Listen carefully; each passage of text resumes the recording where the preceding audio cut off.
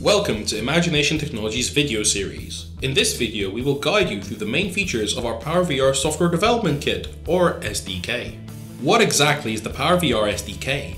As mentioned, it is a software development kit consisting of a framework, example applications and tutorials, and documentation.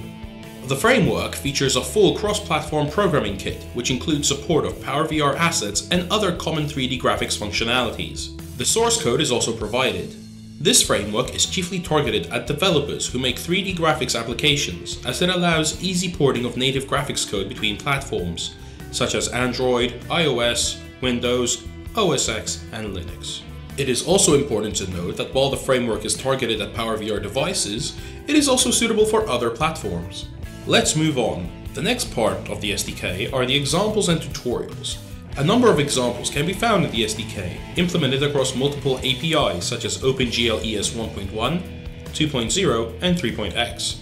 Each example features not only optimized but also annotated code, which makes consistent use of our framework. There is a wealth of techniques on display, from those suitable for a novice user to those more fitting for an advanced developer. Finally, we have the documentation. Our SDK documentation features a comprehensive set of useful documents, such as architecture guides, specifications, and white papers.